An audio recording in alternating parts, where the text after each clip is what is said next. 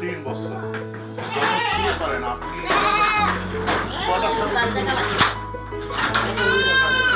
মাত্র দুইটা ছাগল তো দুইটা ছাগল থেকে আজকে আপনার প্রায় একটা ছাগল একশো ছাগলের মতো এবং বিশটা ছাগল আপনি বিক্রি করছেন তো এই বিশটা ছাগল বিক্রি করছেন এখান থেকে আপনি কত টাকা আপনি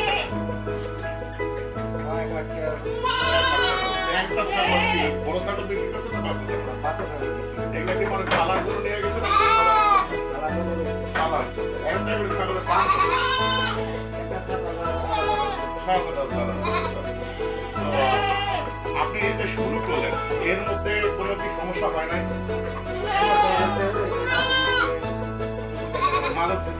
খাওয়াইছেন। কিন্তু আপনি এত দিয়ে তিন বছর ধরে ছাগল সেই দিনে প্রথম গেছেন আমার সাথে দেখা করছেন ওই ছাগল ছাগলটা নিয়ে আপনি এই ছাগলগুলো ভ্যাকসিন দেন? কোনো ভ্যাকসিন দেন। তো ছাগলের সবচেয়ে বেশি গুরুত্বপূর্ণ। এটা সম্বন্ধে আপনার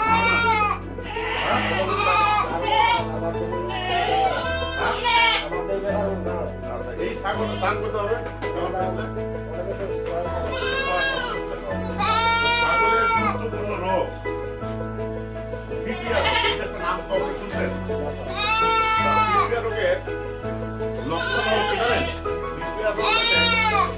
এটা প্রথমে গায়ে জ্বর আসবে করতে থাকবে তারপরে আস্তে আস্তে জ্বরটা কমে যাবে পাতলা পাতলা হবে পাতলা পায়খানা হয়ে আস্তে আস্তে আমরা যেটা বলি এটা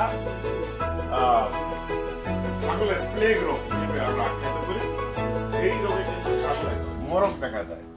ছাগলের একটা খামারে একটা রোগে আক্রান্ত হলে সবগুলোতে এটা দ্রুত ছড়ায় আর একটা বাজার থেকে যখন ছাগল ওই ছাগলটা খামারে ছাড়ে দিলে সমস্যাটা কিন্তু আরও। তো আপনি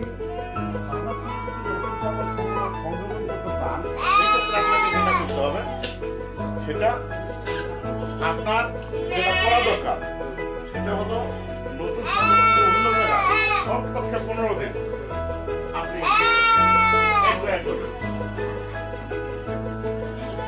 এক জায়গায় রাখবেন, অন্য জায়গায় রাখবেন, ঠিক আছে? পনেরো দিন রাখার পরে ওই ছাগলটাকে যখন সুস্থ হবে, তখন এটাকে ভ্যাকসিন দিয়ে তারপর আপনার খাবারে ছাড়ে দিবেন ওইটা রোগ যদি বাইরে থেকে হাত থেকে রোগ নিয়ে আসে যে সমস্যাটা হবে। অন্য ছাগলগুলোর মধ্যে তখন আপনি এটাকে হবে। আপনারা যেহেতু ছাগল পালতেছেন, অফিসের সাথে যোগাযোগ করবেন আর ভ্যাকসিনগুলা নিয়মিত দেবেন। আর বিপিআর রোগের ভ্যাকসিন যদি আপনি একবার দেন, তাহলে এক বছর আর দেওয়া লাগবে না। এক বছর আপনার ছাগলগুলো ভালো থাকবে, বছর শেষে আরও একবার দিবেন। আর বাচ্চার বয়স যখন তিন বছর হয়ে যাবে, না, তিন মাস, তখন আপনি ওইটাকে ভ্যাকসিন দেবেন। আচ্ছা আপনার এখানে তো আপনার এই পাড়া ছাগল দেখতেছি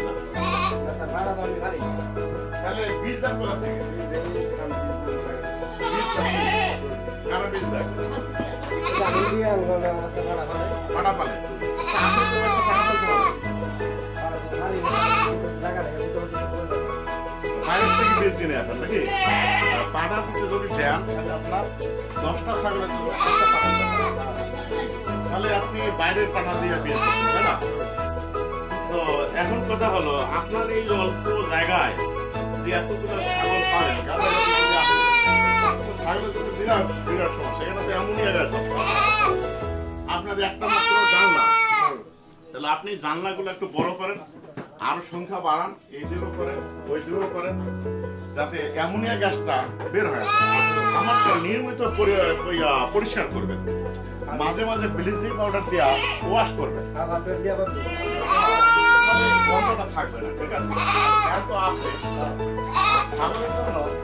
আপনার গরম ভালো কিন্তু বৃষ্টি ছাগলের জন্য আর যেটা অল্প ঠান্ডা লাগে আবার আহ,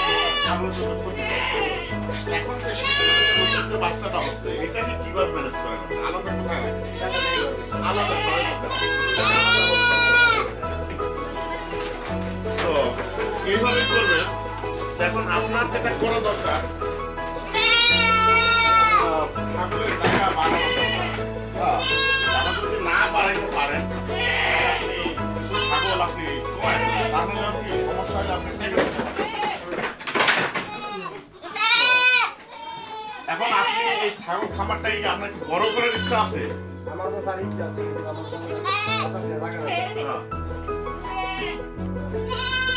জায়গা নাই। না? জায়গার অভাব। আশেপাশে কোনো জায়গা নাই? আর তবে আমি যেটা বলব যেহেতু জায়গা নাই এটা তো হঠাৎ করে আর করা যায় না। এখন আমার অফিস থেকে যে সুযোগ সুবিধা আমাদের দেওয়া দরকার কৃমিনাশক কিছু ভিটামিন এবং আরও যদি কোনো সুযোগ থাকে সর্বোচ্চ সুবিধাটা আমি দেওয়ার, আমি আমার হাসপাতালে করে নেওয়ার চেষ্টা করব। এবং আপনার খামারটার ব্যাপারে আমি আমার ডিওলো স্যারের নলেজে দেবো। আমার ডিওলো স্যার খুবই ভালো মানুষ। অথবা বললে উনিও আপনার খামারটা পরিদর্শন জন্য আসবেন ঠিক আছে, আপনি ভালো করে এগুলো যত্ন নেন। আপনার ছাগলের খামারটা ভালো থাক। এই কামনা করি। তো ঠিক আছে? আর আপনি অফিসে যোগাযোগ করবেন।